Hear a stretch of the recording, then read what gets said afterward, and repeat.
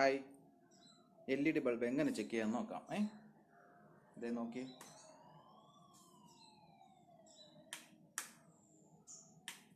ഇനി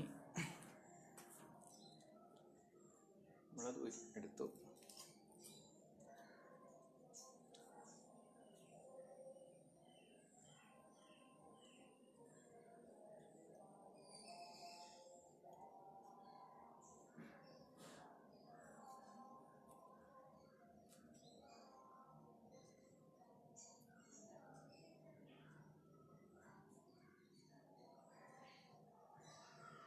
ഓക്കെ.